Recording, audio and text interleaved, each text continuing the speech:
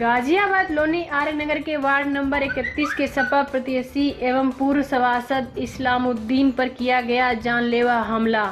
दो अज्ञात बाइक सवार हमलावरों ने किए दो राउंड फायर। घायल उम्मीदवार की दिल्ली के जी टीवी हॉस्पिटल में भर्ती कराया गया। पब्लिक मौके पर स्थानीय लोगों का आरोप काफ़ी समय बाद घटनास्थल पर पहुँची। पुलिस इस्लामुद्दीन की पत्नी लड़ रही है।